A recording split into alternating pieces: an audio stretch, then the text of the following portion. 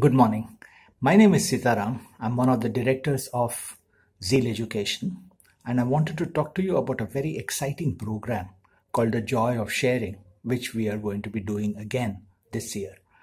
We did this about two years ago with participation from many schools, and it was a tremendous success, which is why we are repeating it this year.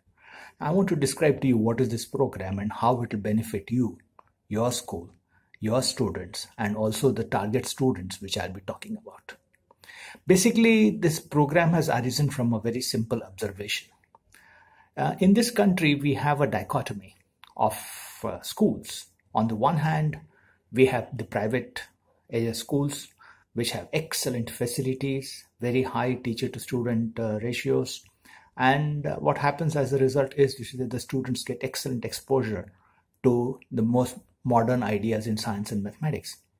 On the other hand, you have the vast government school network, which comprises of perhaps more than 90% of all schools in the country, where conditions are anything but ideal.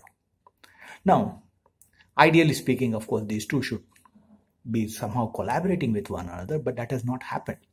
We have centers of excellence, all right, schools of excellence, but then they have remained islands of excellence their presence in a particular location has had absolutely no effect on the rural school or the government school system nearby.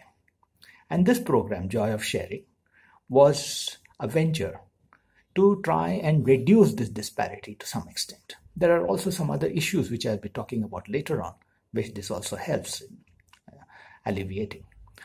Now, uh, basically, what is this Joy of Sharing program?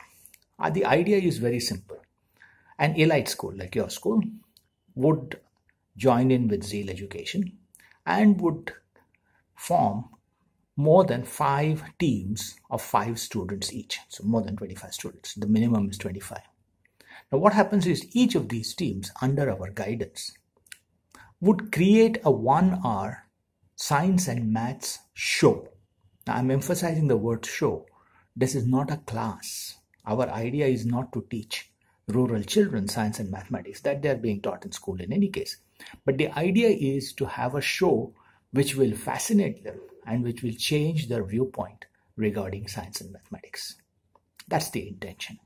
So, what happens, as I said, is that the school, the teams in the school, create these one hour shows. We will assist in that, either physically or through electronic media, whichever way is convenient. And then what happens is you see that they pick up, each of these teams pick up a government school in the neighborhood and goes and performs this show there. Now, what's the idea behind this? How does it benefit the government school? Well, that should be fairly obvious because the children there will get an exposure which they have never had before in their life. What about your school children? Oh, there are two or three benefits there. One is, of course, your children will be creating this show uh, one of them perhaps will be doing the compering, one of them will be doing the actual experiment, someone else may be doing explanations, whatever. The point is they will be doing it themselves, and that's a very nice experience. The second important point is that sadly speaking, today, hardly anyone does science experiments. As far as the government schools is concerned, they don't have the equipment. As far as many of the private schools are concerned, they prefer to just show the experiment on YouTube or on the internet. Now, as any scientist will tell you, science is not done on YouTube. Science is not done on uh, Google. Science has to be done by actually performing experiments yourself.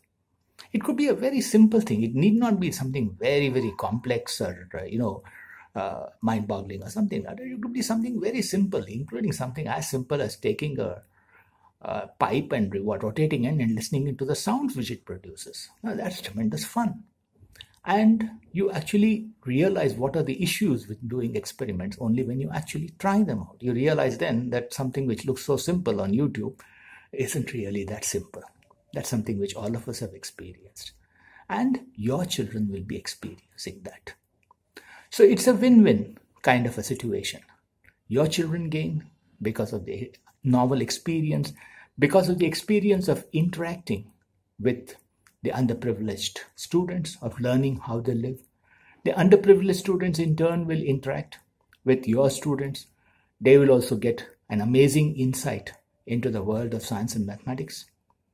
Okay, and we would also be giving other stuff like for example we also provide some takeaways so you will be leaving those takeaways in the school so that those children can then use those takeaways to make simple models or to solve puzzles and so on so they will remember you and your school for a long time and hopefully this interaction which your teams will be having with the schools will only be the beginning of a long interaction and the idea here is then that this way your school will not just be a center for excellence. It will be a seed for distributing this excellence, spreading this excellence in its neighborhood too.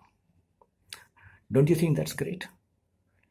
Children would be sharing what they love most playing, playing with science and mathematics. I've been playing with science and mathematics for I don't know how many years now, and I've enjoyed every moment of it. I want your children and the underprivileged children to also have the benefit of enjoying science and mathematics. Do register. The details are given along with this video. Please do uh, contact me for more details and we'll be happy to help you out with this. Thank you so much.